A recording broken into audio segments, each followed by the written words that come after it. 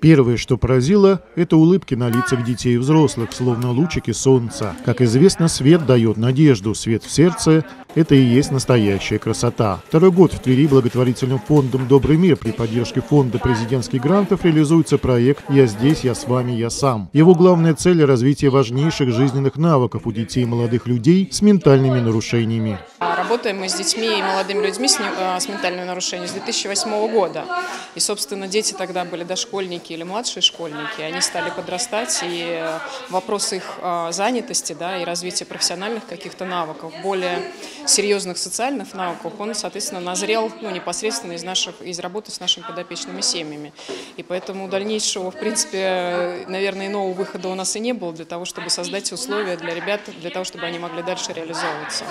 В рамках проекта были подготовлены помещения для занятий и закуплено необходимое оборудование. Собрана дружная команда специалистов и волонтеров волонтеров. Под их руководством более 50 детей и молодых людей с ментальными расстройствами получили возможность бесплатно посещать групповые занятия по развитию социальных навыков и по адаптивной физической культуре, арт-терапии, мастер-классы по созданию народной текстильной куклы, индивидуальные занятия дефектологом и ремесленные мастерские. Перед нами стоит следующая задача, чтобы ребята могли, э, помимо э, дневной занятости, которая у них очень ограниченном количестве в городе, чтобы они приобрели необходимый перечень навыков, чтобы они могли быть более самостоятельными, более уверенными в себе и также могли дома, помимо какой-то повседневной деятельности, имели досуг и могли себя занять.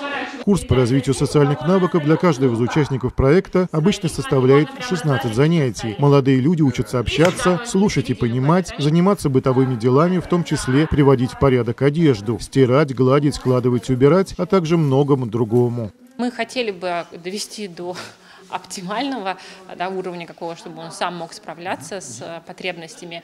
Э, но с каждым занятием они делают шаг вперед, на что-то э, их навыки улучшаются. А, ну, не все, да, потому что есть ребята сложные, которым нужно еще и еще отрабатывать навыки. И это не только здесь на занятии, потому что занятия проходят один раз в неделю, а э, это повторять и дома, да, там, чтобы родители уделяли на это внимание, время э, и были включены в процесс. И действительно, родители включены в процесс и в этот проект. С папами и мамами особенных детей работают психологи и арт-терапевты. Они помогают родителям взглянуть по-новому на их семейную проблему и изменить негативное отношение к жизни на позитивное. Эта социализация важна не только детям с аутизмом, но и семьям. Вот семьям, у которых есть больной ребенок, тоже очень важна социализация, потому что мы оказываемся ну, в своем горе как бы одни и очень-очень откинуты от общества. А вот добрый мир, он делает мир добрее. Это наш слоган такой, но на самом деле это вот просто слова в тему потому что нам здесь очень хорошо. Занятия в ремесленных мастерских проходят по нескольким направлениям. Это керамика, техника ручной лепки и гончарный круг, вязание крючком и на машинке ивушка ткачество и шитье. Здесь под руководством дипломированных педагогов и опытных мастеров ребята улучшают свое здоровье и осваивают ремесло, которое в идеале поможет получить им работу и пополнить семейный бюджет. Занятия нравятся, ребята хорошие работники тоже отзывчивые, добрые, искренние. Занимаюсь э, вязанием на ивушке, вот, социальным навыком, арт-терапия прохожу. По словам родителей, благодаря участию в проекте «Я здесь, я с вами, я сам», их особенные дети обучились многим вещам, которые раньше были для них недоступны. Он научился вязать.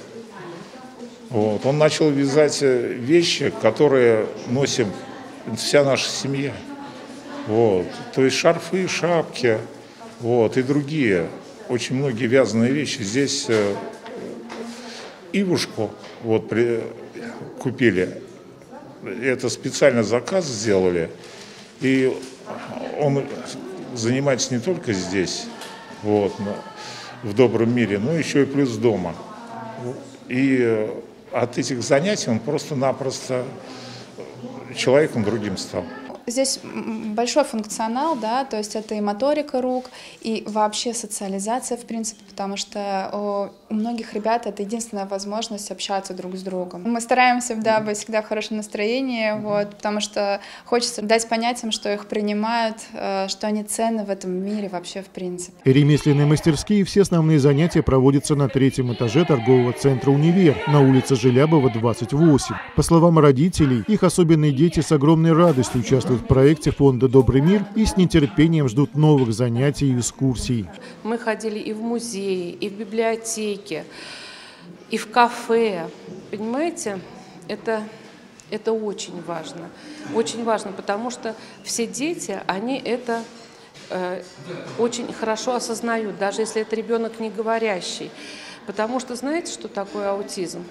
Ребенок может быть внутри развит в норме, но окружающие не могут эту норму увидеть и услышать и понять, а он не может донести это. Вот это большая проблема. Добрый мир и это все просчитал. Я вообще восхищаюсь, когда я иногда задумываюсь и анализирую вообще все, что происходит. Это какой-то рай, куда мы попали.